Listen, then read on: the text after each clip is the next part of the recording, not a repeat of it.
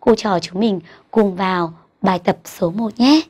Nào, các con đã sẵn sàng với cô Ngọc Lan chưa? Ta cùng vào bài tập nào.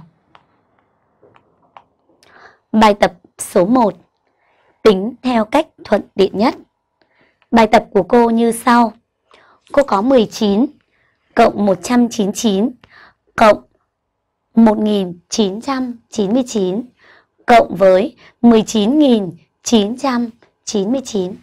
Vậy bài này làm thế nào để cô tính nhanh được? Cô sẽ vận dụng tính chất cơ bản nào? Các con hãy cùng giải với cô và xem cô Ngọc Lan hướng dẫn các con cách nhầm, cách làm bằng vận dụng tính chất cơ bản nào nhé. Bây giờ các con nhìn vào này. Bây giờ khi cô thêm vào một số A đơn vị, rồi cô lại bớt ở số đó đi A đơn vị, thì số đó có thay đổi gì không các con? Sẽ không thay đổi đúng không nào? Vậy thì cô đã vận dụng tính chất thêm bớt cùng một số hạng vào một số tự nhiên. Ta sẽ được một số mới, chính là bằng số ban đầu để ta cùng làm bài toán.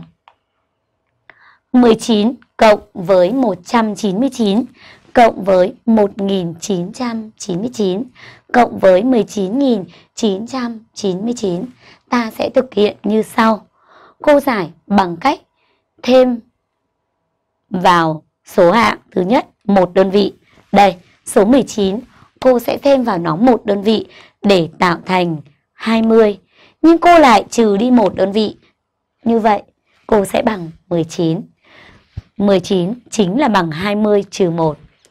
Vậy thì 199 sẽ bằng bao nhiêu? 199 sẽ bằng 200 trừ 1. Đúng không nào? Như vậy cô thêm, thêm một rồi cô lại bớt một